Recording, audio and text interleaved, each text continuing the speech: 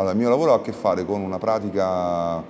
eh, sostanzialmente continua, costante,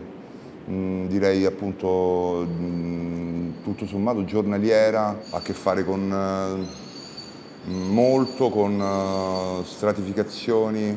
appunto una costante riproposizione di materia su materia. E questa nasce nel 2019 in, eh, in epoca, in periodo Covid, proprio durante i primi giorni, i primi, i primi periodi di, di, segregazione a casa, no? quando non si poteva uscire, eccetera. Ha a che fare con una, una serie di lavori che io ho, ho intitolato, ho chiamato Organo del sommerso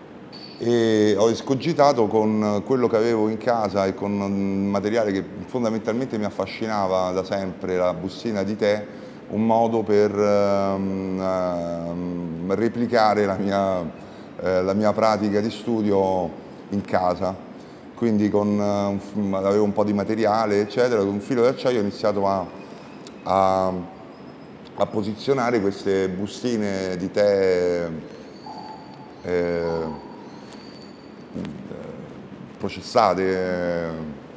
naturalmente per essere bevute, eccetera, e poi reimbevute in, eh, in, eh, in, sostanze che poi le solidificassero, vinavil, resine, adesso non mi ricordo che cosa fosse, e ho iniziato a, a, a monticchiarne una sopra l'altra. Okay? Queste sono migliaia in realtà, poi dopo Dopo il periodo Covid eh, l'opera è stata trasportata in studio e è iniziato il lavoro massiccio di, di stratificazione di queste, di queste, bustine di tè. E non solo bustine, cioè sono per l'80% bustine di tè, però raccolte anche intorno a camere vuote, a, a scheletri che prendessero, che dettassero diciamo, una forma sul tutto. Ecco fa parte di una serie di opere che sono concepite per eh, diciamo, essere sospese e quindi non avere dei punti d'appoggio fissi né dal basso né dall'altro, ma in sospensione con un gancio eh, di testa e poi una, una coda lunga. Ora il sommerso che fa parte del titolo che dà alcune, mm, una eh, superficiale chiave di lettura al lavoro è ciò che ehm, ricorre diciamo, in, tutti i lavori, in tutte le sculture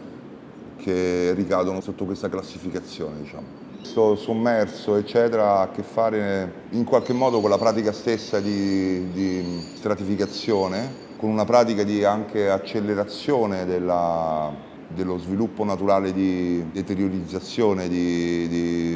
insomma, di morte una, un rapporto con il tempo perché come dicevo all'inizio la stratificazione implica dei tempi di asciugatura,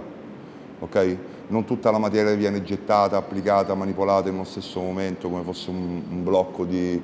eh, di cera, no? un blocco di, di, argilla che si presenta diciamo, e poi viene scalfito, viene eroso, viene manipolato eccetera eh, il il, quasi il contrario è una stratificazione che parte da, atomisticamente da dei singoli punti che vengono aggregati, okay? poi anche elevati e, e, riaggiunti, ma la pratica è quella di, di um, addizionale. La pratica addizionale implica, appunto come dicevo, tempi di asciugatura, tempi di anche proprio essiccatura della materia che implica, alcuni materiali implicano proprio un'essiccazione attraverso dei, dei fon dell'aria calda, accelerano un, un, processo che altrimenti naturalmente sarebbe molto più, molto più lento. Questo per esempio per ottenere alcune eh, variazioni di colore, di mutazione del colore eh, il lavoro, come si presenta finito agli occhi di chi lo guarda senza che ne sappia nulla del processo, eccetera, appare come un lavoro che viene da un, diciamo da un, quasi sempre o comunque spesso da un altrove, okay? Un altrove di fisico, quindi di, eh, spaziale e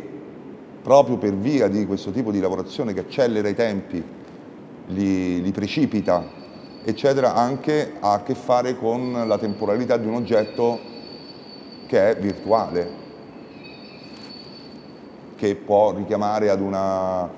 a un oggetto antico, un oggetto mm, di un altro tempo, di un oggetto appunto che ha subito una stratificazione marina o,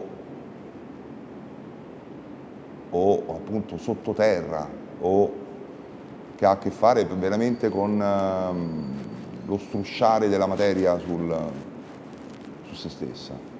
okay? che eh, può appunto eh, generare delle ambiguità di carattere percettivo. Il mio lavoro gioca anche sullo spazio, ospita l'opera, non è un, uh, appunto un vuoto uh, inerte, ma io, almeno io non lo concepisco mai come un vuoto inerte, ma tutt'altro è qualcosa che, che di estremamente concreto, quasi punge l'opera e l'opera allo stesso tempo direi che combatte con, con, questo, con questa sua presenza.